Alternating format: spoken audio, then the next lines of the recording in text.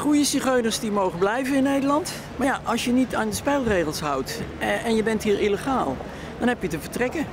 Het is, de- het de- is niet anders. Dus de Roma eruit. Nee, eh, als Roma, we hebben goede Roma-mensen in Nederland, hele goede Roma-mensen. Frans Bauer. Kijk eens aan, en die wonen hier al eeuwen en die mensen horen gewoon bij Nederland. Maar eh, rondtrekkende mensen die eh, hier eh, een beetje kattenkwaad komen uithalen, daar hebben we geen behoefte aan.